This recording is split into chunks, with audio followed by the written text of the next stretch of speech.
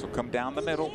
Good opportunity here for San Diego. Ibarra once again. He'll find his right foot, plays it on in. This is chested down. The shot towards goal. Moshobane. And it is 2 0 in favor of San Diego. The Galaxy 2 in a lot of trouble here. Season sevens right here. It started off. Moshobane plays it out. Ibarra just chips it up. Nice little chest down from Herzog.